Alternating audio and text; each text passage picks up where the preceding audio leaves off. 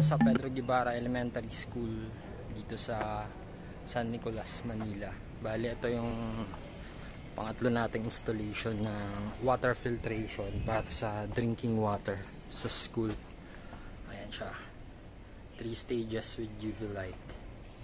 UV water sterilizer para sa drinking water ng mga ng mga estudyante.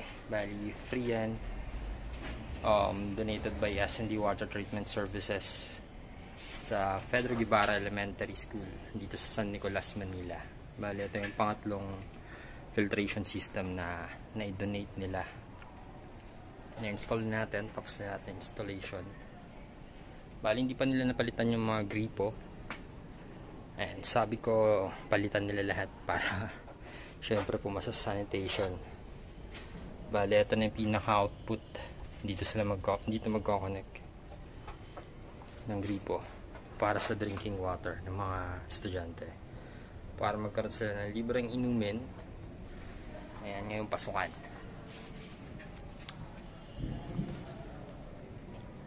Pedro Guevara Elementary School